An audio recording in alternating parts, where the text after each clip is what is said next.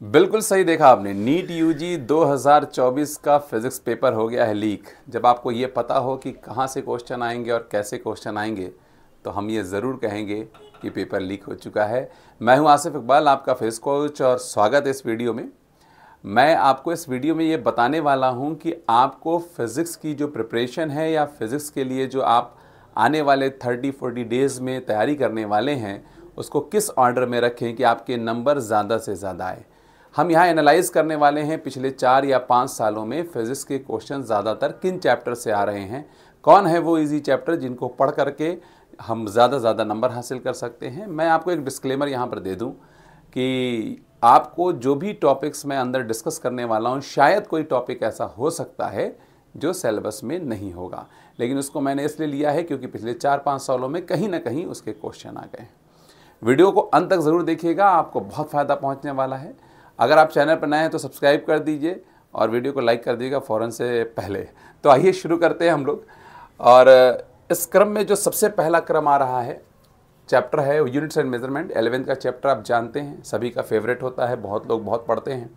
इसमें तीन टॉपिक्स हैं, principle of homogeneity, dimension of special terms और परसेंटेज।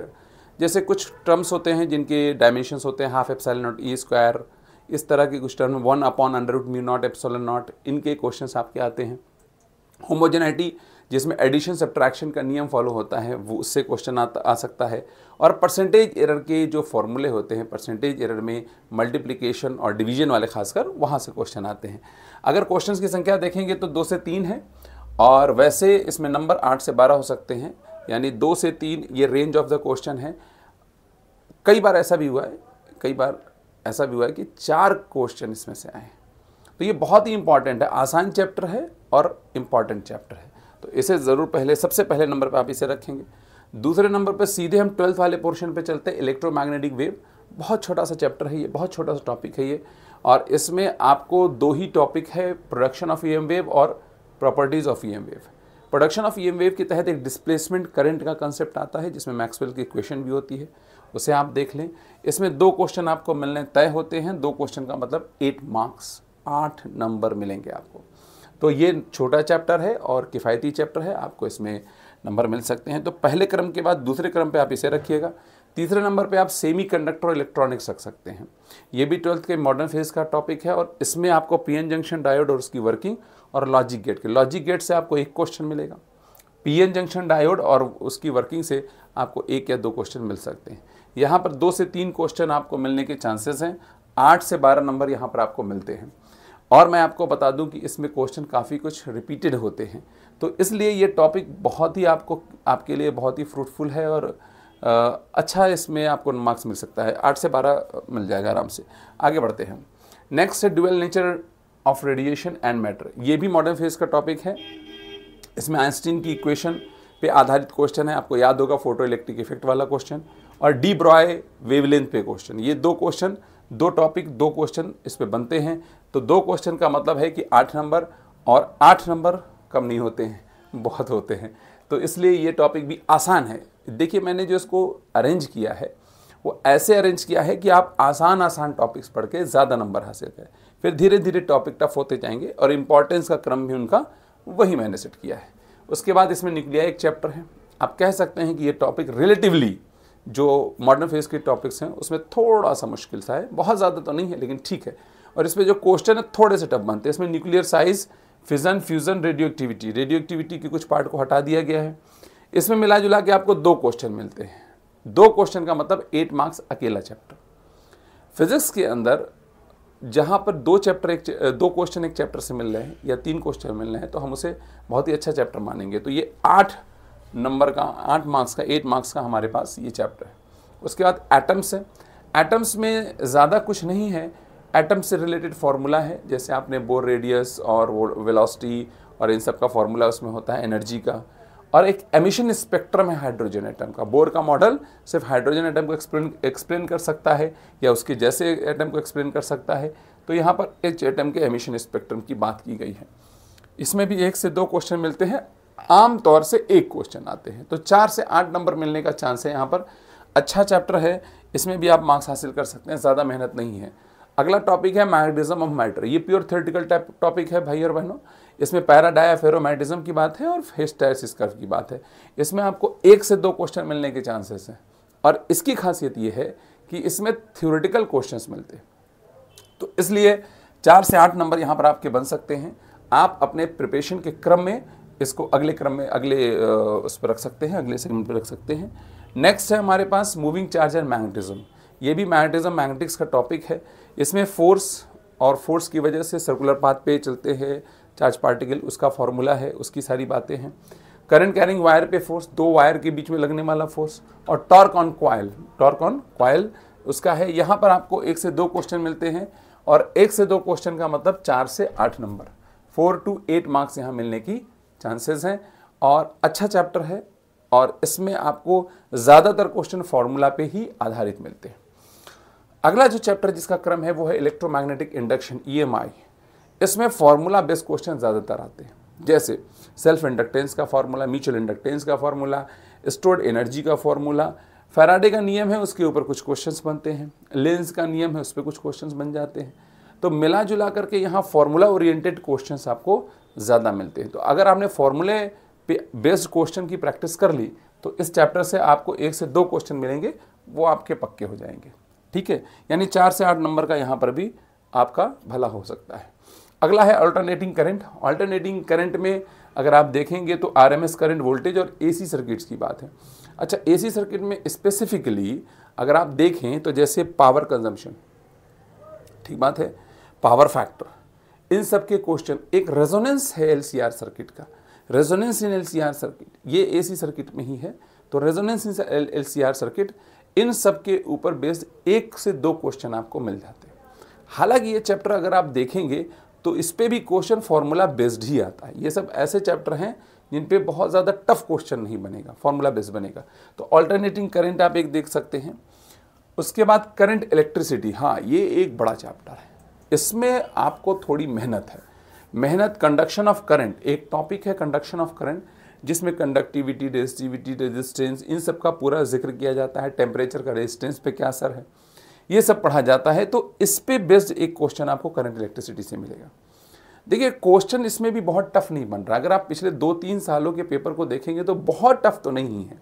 लेकिन conduction of current combination of resistors capacitor और सेल्स इसके ऊपर एक क्वेश्चन बन सकता है और क्रिशॉफ लॉ पे एक क्वेश्चन बन सकता है। तो इस पर मिला जुला करके जो क्वेश्चंस की संख्या होती है, वो तीन से चार हो जाती है। तीन से चार क्वेश्चन बनते हैं। लेकिन तीन से चार अगर आपको एक चैप्टर से मिल रहे हैं तो मेरे हिसाब से ये एक बहुत बड़ा मार्जिन है। यहाँ पर आपके पास 12 से 16 नंबर का आपको फ़ायदा हो सकता है। तो 12 से 16 नंबर 12 टू 16 मार्क्स का फ़ायदा हो सकता है। करंट इलेक्ट्रिसिटी में अगर आपको कहीं पर भी प्रॉब्लम आती है तो कंडक्शन ऑफ़ करंट में सीधे फॉर्मूला उसको देख सकते हैं आप इजिली उसको तो ज़रूर आप देख लीजिए, उस पोर्शन को तो आप ज़रूर देख लीजिए, जैसे मोबिलिटी कंडक्टिविटी इन सब का रेस्टिविटी इन सब का ज़िक्र है। अगला जो क्रम आप सेट करेंगे अपनी प्रिपरेशन में, वो है इलेक्ट्रोस्टैटिक देखिए इलेक्ट्रोस्टैटिक में आप दो तीन चैप्टर हैं राइट दो चैप्टर हैं इनफैक्ट अगर आप एन e की बात माने। इसमें कुलम्सला में equilibrium of charge electric field का फॉर्मूला इलेक्ट्रिक पोटेंशियल का फॉर्मूला इलेक्ट्रिक पोटेंशियल एनर्जी का फॉर्मूला। तो ये आपके पास में कुल चार टॉपिक्स हैं। चार टॉपिक्स पे यहाँ पर तीन क्वेश्चन बनते हैं कभी कभी चार भी बन जाते हैं। तीन क्वेश्चन से लेकर के चार क्वेश्चन बनते हैं। इलेक्ट्रोस्टैटिक में ज़्यादातर लोग बहुत परेशान होते हैं। लेकिन मैं आपसे ये कहूँगा कि अगर आप potential energy equilibrium of charge इसको बहुत अच्छे से किए हुए और इलेक्ट्रिक फ़ील्ड के अंदर जो इलेक्ट्रिक लाइन्स ऑफ़ फोर्स की प्रॉपर्टीज़ है और उससे रिलेटेड क्वेश्चंस हैं, उसको अगर आप देख लेंगे तो ये बहुत ही किफ़ायती चैप्टर हो जाएगा आपके लिए। बारह नंबर यहाँ पर भी आपके, ये बड़ा एक, दो चैप्टर का एक कॉम्बिनेशन है ये तो अब बड़ा बड़ी यूनिट हो जाएगी काफ़ी बेहतरीन आप इसमें नंबर ले सकते हैं। उसके बाद है वेव मोशन ये सब टॉपिक ऐसा टॉपिक है। वेव मोशन आप अगले क्रम में रखेंगे इसके। वेव मोशन बहुत ही आसान टॉपिक है।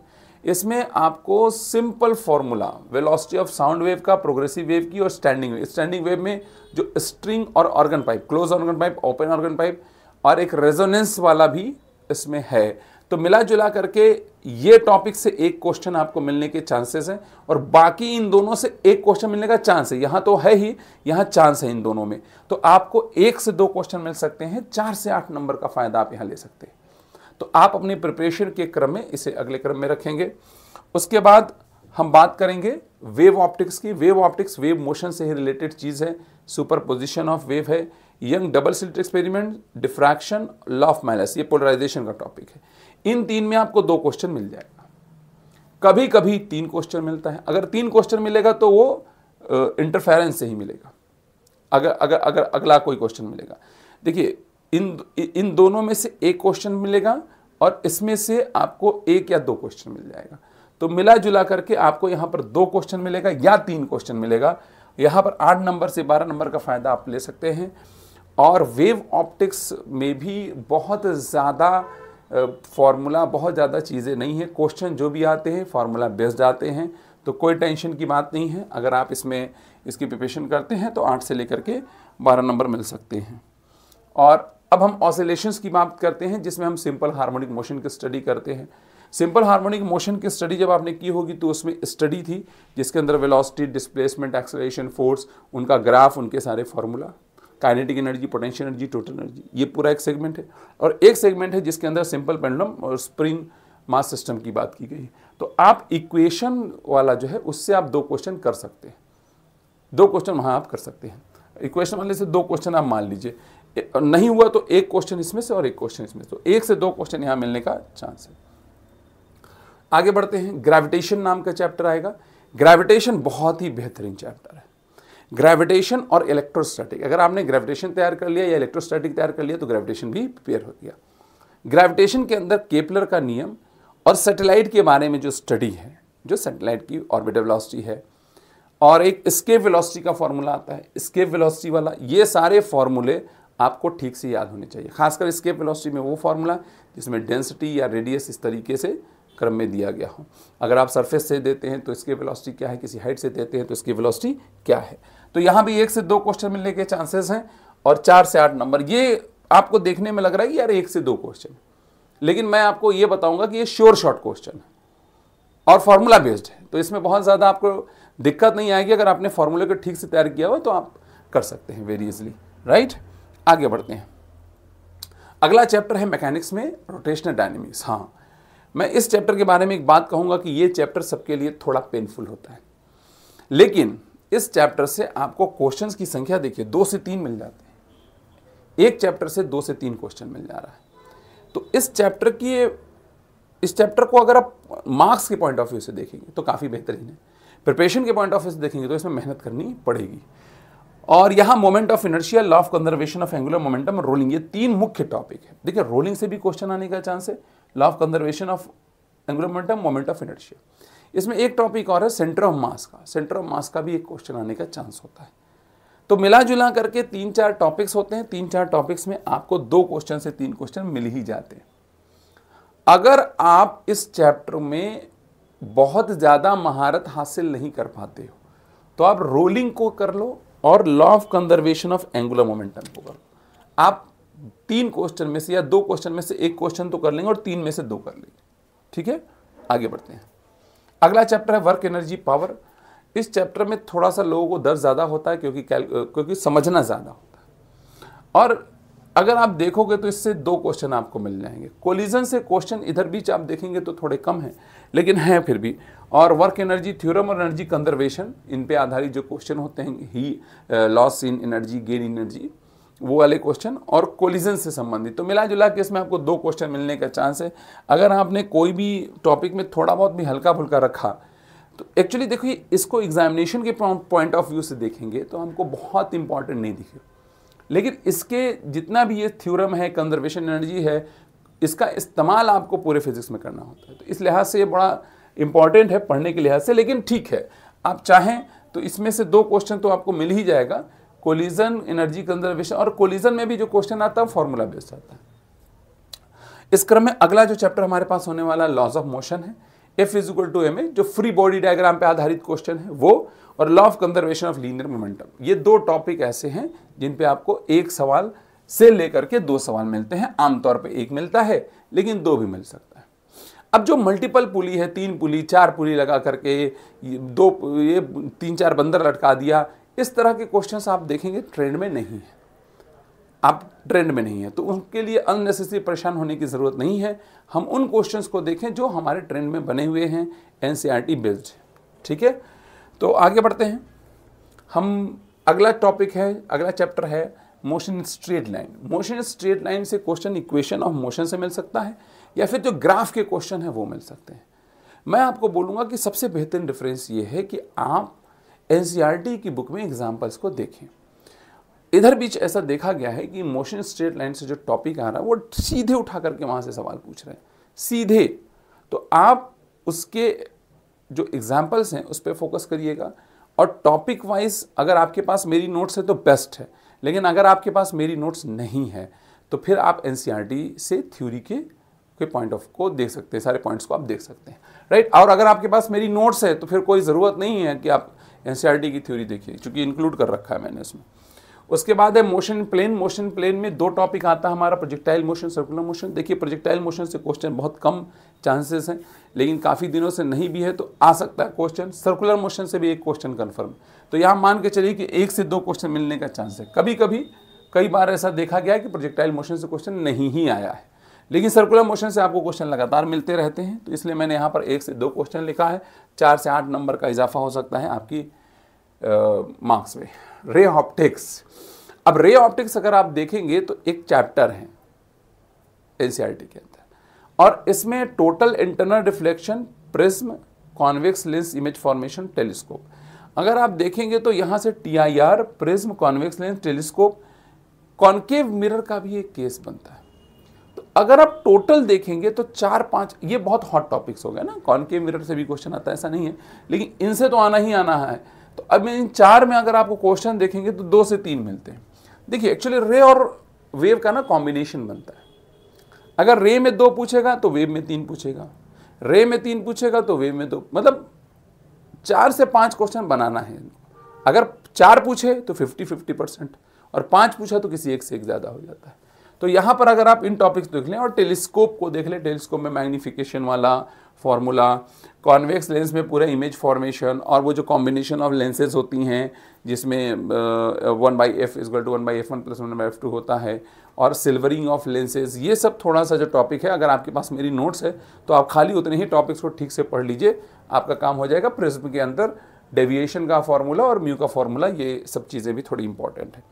आगे बढ़ते हैं। थर्मोडाइनमिक्स ये भी एलेवेंथ का चैप्टर है, आप जानते हैं।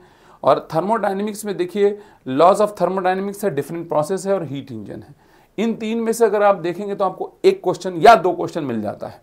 डिफरेंट प्रोसेसेस में क्या है? जैसे चार ही प्रोसेस का आपको ज़िक्र है, quasistatic process, isobaric, adiabatic, isothermal और आइसोकोरिक। इन चार प्रोसेस का ज़िक्र है। उन प्रोसेसेस में एक्सपेंशन और कंप्रेशन का कंपैरिजन है। और उन प्रोसेस में वर्कडन उन प्रोसेस के ग्राफ्स ये सारी चीज़ें, जैसे मैंने, अगर आपके पास मेरी नोट्स है तो उसमें मैंने आपको पूरा पॉइंट वाइज लिखवाया हुआ है।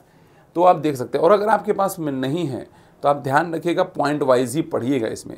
अगर आप एन e में जाएँगे तो थोड़ा सा उसमें बहुत मेसी सा कुछ लिखा हुआ है, जिससे आपको ये दिक्कत हो जाएगी समझने में कि क्वेश्चन डायरेक्ट हीटिंग पॉइंट्स क्या हैं इसके राइट और ये हीट इंजन है, और हीट इंजन के साथ साथ यहाँ पर डिफरेंट प्रोसेस है। हीट इंजन से जैसे इस बार क्वेश्चन आया था करनॉट हीट इंजन से क्वेश्चन आया था। तो हीट इंजन से भी क्वेश्चन आता ही रहता है। यहाँ से एक से दो क्वेश्चन मिलते हैं। अच्छा। अग, अगला जो आप रख सकते हैं K T G kinetic theory of gases simple theoretical topic है।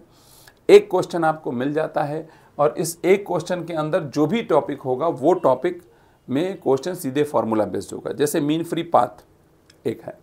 उसके बाद एजम्पन्स ऑफ़ के में प्रेशर का फॉर्मूला चलता है। मोस्ट प्रोबेबल वेलोसिटी है आरएमएस वेलोसिटी है, इनका कंपैरिजन हो जाता है और डिग्री ऑफ़ फ्रीडम की चर्चा हो जाती है मोनोटॉमिक डाइटामिक और पॉलीटॉमिक गैस के लिए।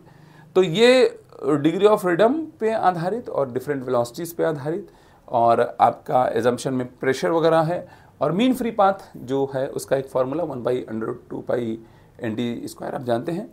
तो वो भी यहाँ पर एक क्वेश्चन बन जाता है और ये काइनेटिक थ्योरी ऑफ़ गैसेस से आपको एक क्वेश्चन देखिए थ्योरिटिकल चैप्टर है। बहुत ज़्यादा मगजमारी नहीं है इसमें। ठीक है तो आप इसको पिक कर सकते हैं, काफ़ी बेहतरीन है। पिक तो सभी को करना है। Thermal properties of matter thermal properties of matter eleventh का चैप्टर है, इसमें थर्मल एक्सपेंशन कंडक्शन रेडिएशन इन तीन में से आपको दो क्वेश्चन मिलेगा। देखिए, हो सकता है थर्मल एक्सपेंशन से मिले तो फिर कंडक्शन गायब हो जाएगा। कंडक्शन से मिलेगा तो अब कंडक्शन में भी क्या होता है? सीरीज़ पैरेलल कॉम्बिनेशन है, जिसमें थर्मल कंडक्टिविटी का ज़िक्र होता है। और रेडिएशन में Stefan's law Newton law of cooling और वीन्स लॉ ये तीन लॉ से क्वेश्चन तीन में से कोई एक लॉ से क्वेश्चन बन जाता है। देखिए, मैं बार बार आपसे कह रहा हूँ कि इनमें, इस वाले चैप्टर में भी, इसमें भी सीधे फॉर्मूला बेस्ड क्वेश्चन पिछले तीन चार सालों में फॉर्मूला बेस्ड ही आ रहा है। अगर बहुत कॉम्प्लेक्सिटी कहीं क्रिएट कर सकते हैं तो दो ही है। एक मैकेनिक्स और एक इलेक्ट्रोस्टैटिक्स बाकी जगहों पर बहुत कॉम्प्लेक्सिटी आपको नहीं मिलती है देखने को लिए। तो यहाँ पर इस तरह की बात है। आगे बढ़ते हैं। और मैकेनिकल प्रॉपर्टीज़ ऑफ़ सॉलिड जिसमें इलास्टिसिटी का ज़िक्र है, यहाँ से भी एक क्वेश्चन आने का चांस होता है।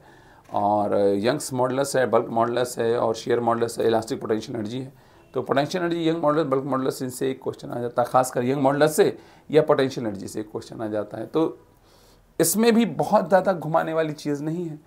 अगर आपने बहुत डीप जा कर के नहीं पढ़ा है सिर्फ़ ऊपर का कॉन्सेप्चुअल पार्ट भी पढ़ लिया तो हमारा काम हो जाता है यहाँ पर। ठीक है? और mechanical properties of fluid mechanical properties of fluid है और मैकेनिकल प्रॉपर्टीज़ ऑफ़ फ्लूड में बर्नौली थ्योरम और स्टोक्स लॉ है। यहाँ पर भी एक क्वेश्चन मिलने का चांस है। हालाँकि इसमें थोड़ा इफर्ट ज़्यादा है और क्वेश्चन एक ही आपको मिलेगा। पर जो भी क्वेश्चन मिलेगा, वो क्वेश्चन आपको सीधे सीधे फॉर्मूला पे आधारित होगा। तो बर्नौली और स्टोक्स लॉ स्टोक्स लॉ से खासकर क्वेश्चन आते रहते हैं। तो ये कुल मैंने आपके सामने सारे चैप्टर का एक क्रम रख दिया। देखिए, आप अपनी प्रिपरेशन को इसी क्रम में सजाइए। अगर बीच में कोई ऐसा चैप्टर आता है जो आपको लगता है कि यहाँ पर ये वाला चैप्टर यार मेरा क्लियर नहीं है और इसको क्लियर करना बड़ा मुश्किल है। हालाँकि अभी आपके पास में समय है, आप किसी भी चैप्टर को जाकर क्लियर कर सकते हैं। लेकिन अगर वो से वो सिचुएशन भी अगर आपके पास बनती है तो आप इसको एक स्ट्रेटजिकल फॉर्मेट में ले करके, इसे एक पेपर पे लिख लीजिए वीडियो को पॉज कर करके लिख लीजिए, और लिखने के बाद आप देख लीजिए कि कौन कौन से चैप्टर ऐसे हैं जिससे मैं क्वेश्चन आसानी से निकाल सकता हूँ। तो आप पहले उन पर हिट करिए, फिर उन चैप्टर्स पे जाइए जो आपके वीक हैं या जिन पे आपका थोड़ा सा, थोड़ा हाथ तंग है तो आप उस पर काम करिए। ये मैंने क्रम बताया है। इस क्रम में अगर आप चैप्टर्स की को सजाएँगे तो आपके नंबर्स ज़्यादा आएँगे। इफ़र्ट आपका उतना नहीं आएगा। देखिए, काम वही करना है, लेकिन हंड्रेड परसेंट हमें काम करना है। लेकिन कौन सा काम पहले करें, कौन सा काम बाद में करें, अगर ये अरेंज हो जाता है तो हमारा आउटपुट बढ़ जाता है। तो इसलिए इस क्रम को आप फॉलो करिए। आई होप आपको ये वीडियो पसंद भी आया होगा। अगर पसंद आया तो कमेंट बॉक्स में ज़रूर बताएँ कि आपको कैसा लगा ये वीडियो। आगे की वीडियोस में मैं आपके सामने एन की ग्राफ्स की सीरीज़ लेकर के आने वाला हूँ एन एग्जाम्पल्स की सीरीज़ लेकर के आने वाला हूँ। और क्या क्या चाहते हैं आप मुझसे, ज़रूर कमेंट बॉक्स में बताइए। मिलते हैं अगले वीडियो में। अपना ध्यान रखिए, ज़बरदस्त तरीके से पढ़ाई करते रहिए। All the very best thank you thank you very much